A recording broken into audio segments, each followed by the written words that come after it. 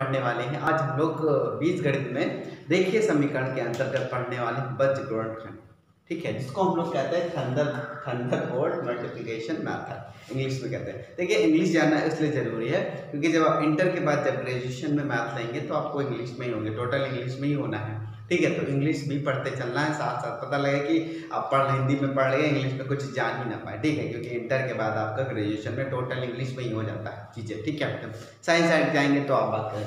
चलिए, अब बात कर लेते हैं वज्र गुणनखंड के ज़रिए जब आए रेखित समीकरण को कैसे हल करना देखिए, एक ये लिखा हुआ है ए एक्स धन बी बटे सी एक्स प्लस डी बराबर के यहाँ पे आपका जो नीचे लिखा है, ये आपका ज़ीरो नहीं होगा। ठीक है?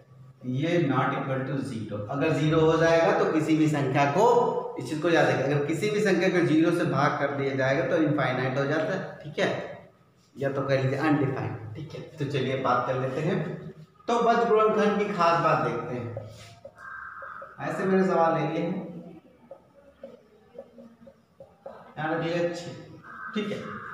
और यहाँ भी कुछ रख लेते हैं। दो, ठीक?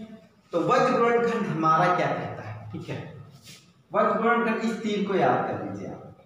ठीक है? और ये इस तीर को याद कर कहने का मतलब ये है, जो चीज़ यहाँ नीचे है, ये इधर चली जाएगी, और जो ये चीज़ इधर है, ये इधर चली जाएगी। ऐसे। तो टू एक्स धन तीन। ये जो आएगी, ये इधर वाली सब चीज़ तो ये गुणे में आ जाएगी, यानी कि गुणे दो। ठीक है?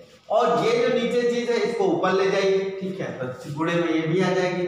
तो तीन एक्स धन पाँच। बस वज्रगुणनखंड यही है। कि मतलब जो यहाँ नीचे है, यहाँ ऊपर चली जाएगी इधर, वो बराबर के उधर, ठीक है? फिर छह से गुणा गुणा हो जाएगी इसमें, और ये जो नीचे है, इसमें गुणा हो जाएगा। बस गुणनखंड यही इसके बाद नॉर्मल जो हम देखिए समीकरण हल करते समय करते थे वही करिए दो का गुणा इन दोनों करिए। तो दो का गुणा जब इसमें होगा तो दो दुना चार एक्स हो जाएगा। और ये बताई छः हो गया। छः इसमें गुणा करें, तीन छः एक्स और धन तीस। ये हुआ। छह का गुणा हमने तीन एक्स के साथ किया और पाँच के साथ, ठीक है? अब देखिए, चार एक्स इधर ले आइए और तीस वाले को इधर ले जाइए, ठीक है? चलिए कर लीजिए। तो छ अपनी सुविधा के अनुसार चाहे जो आप ले जाएँ, अपनी मर्ज़ी से कर ले जा सकते हैं, कोई दिक्कत वाली बात नहीं ठीक है? तो चलिए घटा दीजिए। ये छः में से तीस तो घटना है। घटेगा तो तीस में से छः ही। लेकिन निशान हमेशा होगा किसका? जो ज़्यादा हो, जैसे तीस ज़्यादा है तो माइनस का चौबीस। और यह आया कितना? चौबीस अठारह, ठीक है। तब ये क्या इसको चाहे बराबर के पहले ये लिख ले चाहे ये लिख ले इससे कोई दिक्कत नहीं है, इस तरह लिख सकते हैं आराम से। तो ये जो आपका है माइनस का तो चौबीस बटे आप कर सकते हैं। ये भाग में जाएगा चौदह, ये बता चुके हैं। दो सत्ते चौदह और ये बारह तो आएगा सात बटे, बारह बटे सात, माइनस का आएगा देखिए माइनस का दो बटे, माइनस का बारह बटे सात आया आपका तो इस तरीके से वज्र खंड विधि द्वारा हम लोग को सवाल लगाना है। अब हम इस पर कुछ सवाल करेंगे। देखिए, जितने भी सवाल बता रहा हूँ, ये सारे जो हैं एक चर वाले हैं, ठीक है? अभी एक चर वाले होंगे, फिर दो चर वाले, लेकिन ये वज्र गुणनफल नहीं बदलने वाला, ये विधि लगेगी। अभी जो मैं रेखीय समीकरण में चीज़ें बता रहा हूँ, वो सारे चीज़ें वो बता रहा हूँ जिससे कि रेखीय समीकरण हल होगा, ठीक है? चाहे वो एक घात वाला हो, चाहे दो घात वाला, ये सारे रूल्स जो होंगे जब द्विपदीय रूल्स आएँगे, ठीक है, समीकरण आएँगे, त्रिपदीय आएँगे तो उसमें भी ये लगने हैं रूल्स तो ये एक एग्ज़ाम्पल है समझाने की कोशिश की। देखिए, जब भी आप कोई मैथ पढ़ेंगे और विधि पढ़नी है आपको रूल्स को फ़र्स्ट टाइम करके आपको समझना है तो सबसे बेस्ट तरीका आप किसी भी किताब की बात कर रहे हो चाहे आप किसी भी क्लास में पढ़ रहे हो, सबसे बेस्ट तरीका आप उसके एग्जाम्पल्स करिए। किसी भी एग्ज़ाम में आपके एग्जाम्पल्स पर फोकस रहता है कि ज़्यादा आते हैं, ठीक है? चाहे आप ग्रेजुएट चाहे आप हाई स्कूल कर रहे हो, चाहे इंटर कर रहे हो मैथ्स पढ़ रहे हो तो एग्ज़ाम्पल तो ज़रूर फोकस करिए क्योंकि एग्जाम्पल्स आते हैं फिफ्टी से ज़्यादा, यानी एट्टी परसेंट एग्ज़ाम्पल ही आते हैं, ठीक है? तो चलिए बात कर लेते हैं। लिखा है, दो संख्याओं का अंतर चौवालीस है। इनमें से एक बड़ी संख्या में से छोटी संख्या से भाग देने पे भागफल पाँच आता इस कथन का समीकरण बनाइए और समीकरण को वज्र गुणनखंड द्वारा हल करें तो इसमें दो संख्याओं की बात की गई है, ठीक है? कह गए जो बड़ी संख्या है, छोटी से चौवालीस ज़्यादा है। तो मान लीजिए, माना छोटी संख्या। मान लो छोटी संख्या कितनी है? एक्स है ठीक है? अगर आप मान ले रहे हैं कि छोटी संख्या एक्स है और बड़ी संख्या कहें चौवालीस ज़्यादा, छोटी वाली से कितनी ज़्यादा है? चौवालीस, ठीक है? तो अगर छोटी वाली एक्स है तो बड़ी वाली कितनी होगी भाई चवालीस ज़्यादा है तो चवालीस जोड़ दीजिए। तो बड़ी संख्या। बड़ी संख्या क्या हो जाए? एक्स धन चौवालीस। यही तो कहा गया है कि बड़ी संख्या छोटी वाली संख्या के चौवालीस यानी कि फोर्टी फोर ज़्यादा है। तो ठीक है, हमने जोड़ दिया। अब देखो क्या कहा गया ठीक है? देखिए, इस तरीके के सवाल में आपको सवाल बहुत ध्यान से पढ़ना होगा। ठीक है? जब आप सवाल एक बार न समय दो बार पढ़िए, तीन बार पढ़िए, जब आप सवाल पढ़ेंगे तो चीज़ें आसानी से कर लेंगे, ठीक है? चलिए, अब बात कर लेते हैं, अब क्या कहा गया है? अब देखिए क्या कहा गया है? छोटी संख्या से भाग देने पर भागफल पाँच आता है ठीक है? इनमें से बड़ी संख्या में, बड़ी संख्या में छोटी संख्या का भाग, बड़ी संख्या और छोटी संख्या, भाग कर दिया हमने। और कितना आ रहा है आपका? पाँच आ रहा है, ठीक है? तो ठीक है तो बड़ी संख्या है one forty four one forty four नहीं एक्स प्लस चौवालीस और ये पाँच, ठीक है? तो इस तरीके का सवाल है। अब देख, अभी आपने समीकरण बना लिया ठीक है?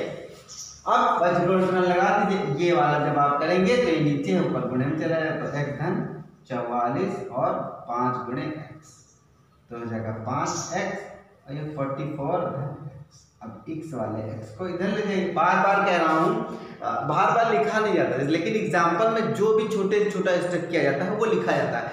लेकिन अभी क्या है, मैं इधर सीधे से लिख दूँगा कि मैं इधर इसको इधर ले गया, ठीक है?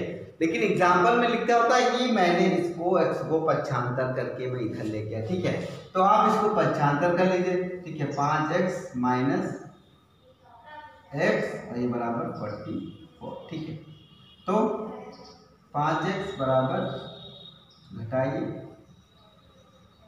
तो चार एक्स सॉरी चार एक्स आया।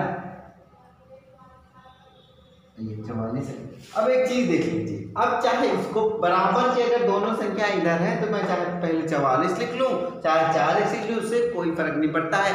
हम अपनी सुविधा के हिसाब से, हमें एक्स का मान चाहिए।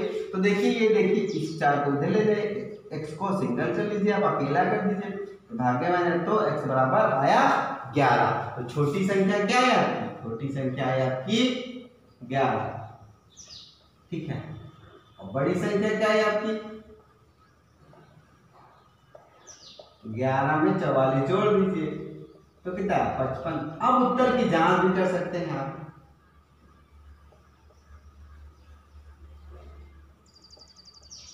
उत्तर की जाँच कर लीजिए। गणित में कभी कभी आप उत्तर की जाँच करके क्या कहा गया? छोटी संख्या तो बड़ी संख्या को भाग करना है। छोटी संख्या से आना चाहिए पाँच तो आया। ग्यारह कम ग्यारह और ग्यारह बचे पचपन तो आ गया आपका पाँच। यानी कि आपने जो उत्तर निकाला है वो बिल्कुल एग्जैक्ट सही है। तो इस तरीके से सवाल लगते हैं। ये इसके बाद अभी मैं कोशिश करूँगा कि एक्सरसाइज वाइज सवाल बताऊँ। अभी मैं केवल मोटे मोटे फंडामेंटल चीज़ें बता रहा था बट अब सोच रहा हूँ कि एक्सरसाइज के कुछ सवाल बताओ बस समस्याएँ ये हो जाती है कि वीडियो आपका बड़ा हो जाता है। आजकल डाटा बहुत महँगा है, ठीक है? तो यही होता है कि चीज़ों को समेट लूँ ज़्यादा। लेकिन अभी सोच रहा हूँ कि एक्सरसाइज के सवाल कठिन कठिन बताऊँ। जैसे इसके बाद जो अभी मैं पढ़ा रहा हूँ कच्चे साथ किताब से एक्सरसाइज शुरू होगी सिक्स बी ठीक है? तो सिक्स बी के कुछ सवाल इंपॉर्टेंट उठाऊँगा, ज़्यादा नहीं उठाऊँगा। लेकिन उठाऊँगा। मेरा बेसिकली फंडामेंटल ये है कि आप जो है मैथड्स पे ध्यान दें। देखिए मैथड ये होगा वज्रगुणनखंड थोड़ी बदलने वाला। आपके ये सवाल बदल जाएँगे न्यूमेरिकल सवाल कुछ बदल जाएँगे, गिनतियाँ बदल जाएँगी बट सवाल पूछने का तरीका थोड़ी बदलेगा। हल करने का तरीका थोड़ी बदलेगा। हल करने का तरीका यही होता है। मैथ्स में क्या होता है? सूत्र रख दिया जाते हैं, बाकी तो मैंने नंबर कहा गया एक भिन्न, ठीक है। एक भिन्न है, भिन्न में दो चीज़ें होती है, अंश होता है और हर होता है, ठीक है। एक चीज़ को याद रख लीजिए, अगर आप भूल गए हो तो ठीक है। भिन्न में क्या होता है? एक होता है अंश, नीचे वाला होता है हर, ठीक है। भिन्न में क्या होता है? अंश और हर, ठीक है। तो कह रहा है, हर उसके अंश से तीन अधिक है। यदि अंश और हर दोनों में पाँच जोड़ दिया जाता है तो उसका मान चार बटे पाँच हो जाता है, ठीक है। तो कह रहा है हर और अंश, ठीक है। हर उसके अंश से तीन अधिक है, ठीक है? तो कौन अधिक है? हर अधिक। हर ज़्यादा है अंश से, ठीक है? तो अंश मान लो, माना अंश आपका कितना है? एक्स है। तो हर क्या हो जाएगा? तीन ज़्यादा होगा ना इससे, ठीक है? अगर अंश एक्स है तो हर हो जाएगा एक्स बटे तीन। अब देखिए सवाल क्या कह रहा है? कह रहा है यदि अंश और हर में दोनों में पाँच जोड़ दो ठीक है तो आपका भिन्न क्या बन जाएगा? भिन्न बनेगा x बटे एक्स प्लस तीन ठीक है? जो भिन्न आया है, इसमें आपको क्या जोड़ देना? पाँच पाँच ऊपर और पाँच नीचे। अगर आप ये जोड़ देते हैं तो कितना हो जा रहा है? चार बटे पाँच तो चार बटे पाँच कर लीजिए, ठीक है? तो ये आपका बन गया समीकरण। समीकरण देखिए, भिन्न ज्ञात करना। अब देखिए वज्र गुणनखंड कर देते हैं। इसको क्या कर लीजिए? एक्स धन पाँच और ये पाँच तीन आठ। एक्स धन आठ। तो हो जाएगा चार बटे पाँच। ये इधर ये इधर। ठीक है? तो कर लीजिए।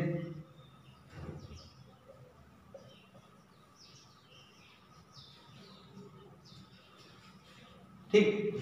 पाँच एक्स धन पाँच, ये देखिए ऊपर आया तो गुणा हो जाएगा और ये आया इसमें गुणा। चलिए देखते हैं। तो पाँच एक्स और पचहम इसका गुणा ऐसे करेंगे तो हो जाएगा पच्चीस, ठीक है? अब इसका गुणा करेंगे तो चार एक्स तो इसका फिर गुणा करेंगे तो चार बटी पच्चीस ठीक है? अब इसको चार को इधर ले जाए और पच्चीस को इधर ले जाए तो पाँच एक्स माइनस इसको कहते हैं हम लोग? पक्षांतर कर रहे हैं, ठीक है? क्या कर रहे हैं इसको? पक्षांतर कर रहे हैं। तो पक्षांतर कर लेते हैं हम लोग। तो यहाँ एक्स और यहाँ कितना? ठीक? अगर बत्तीस में से पच्चीस घटाएँगे तो कितना बचेगा? सात। ठीक है? तो भिन्न क्या कह रही है? अब अंश आपका कितना है? अब अंश आया आपका सात। और हर कितना है? तीन ज़्यादा यानी कि सात हर तीन। तो हो जाएगा, ये हो जाएगा दस। तो भिन्न क्या बन गई आपकी? भिन्न बन गई सात बटे दस। ठीक है? अब सात बटे दस उत्तर की जाँच भी कर लेते उत्तर की जाँच कर लीजिए उत्तर की जाँच। तो उत्तर की जाँच क्या सात बटे दस भिन्न है, कह रहा पाँच इसमें जोड़ दो और पाँच इसमें जोड़ दो।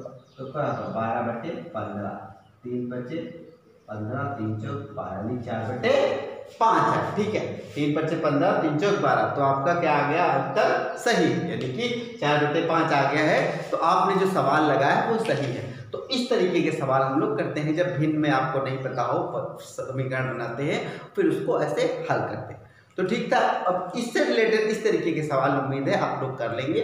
और देखिए, ये बता रहा हूँ बार बार, ये six seven eighth ninth tenth ये मैथमेटिक्स के लिए बहुत ही उपयोगी है, क्योंकि आप कोई भी एग्ज़ाम्स देने वाले हैं, भविष्य में कम्पिटेटिव एग्ज़ाम देंगे एसएससी दीजिए सीजीएल दीजिए, फिर कोई भी एग्ज़ाम दीजिए यूपी पीसीएल दीजिए, कुछ भी दीजिए यूपी एसएससी दीजिए, कोई भी पुलिस का दीजिए एसआई का दीजिए, कोई भी एग्ज़ाम होगा मैथ्स का लेवल टेंथ तक का रहा, रखा जाता है, ठीक है? उसके कठिन नहीं रखा जाता है। इसलिए रखा जाता है क्योंकि कुछ बच्चे होते हैं मैथ नहीं पढ़ के आते, उनको भी ध्यान में रखा जाता है। तो ठीक है, ये था मेरा वीडियो मेरा यूट्यूब पे चैनल है यूपीएस एल आर, आप उसको सब्सक्राइब करिए और देखिए, दिखाइए। फिर मिलूँगा एक और वीडियो के साथ। धन्यवाद।